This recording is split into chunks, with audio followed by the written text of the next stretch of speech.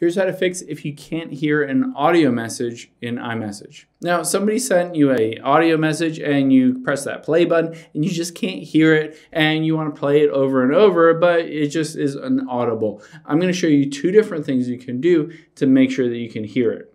So the first thing, let's go into settings and we'll scroll down until we get to messages and tap on that. Now let's scroll down and you can see towards the bottom here under audio messages is raise to listen. So I can toggle that on, which means if I press that audio message and hit play, I can hold the phone up to my ear and that will allow it to play basically the same volume as if you were on a normal call. But you can also turn it on on speakerphone so that it basically is more audible. You can hear it wherever. You can just hold it next to your face and you'll be able to hear it. So let's go out here and open up iMessage. I'm going to just send a example audio message. Tap that blue icon. And I'm going to tap and hold and send this message. Now that I've done that, I can tap that little play button and you can see that it doesn't really play anything. I can't hear it.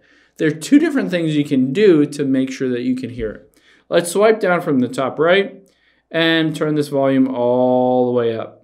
Now, the other thing that we'll do is tap that little speaker icon right next to it.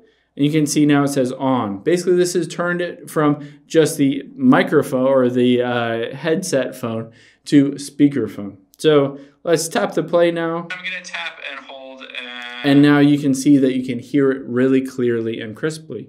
Now, if you turn that speaker off so that it's gray, this mode basically you can hit play and then hold it up to your ear and then by doing so, you'll be able to hear it just through your ear if you don't want everyone else around you to hear what that audio message is.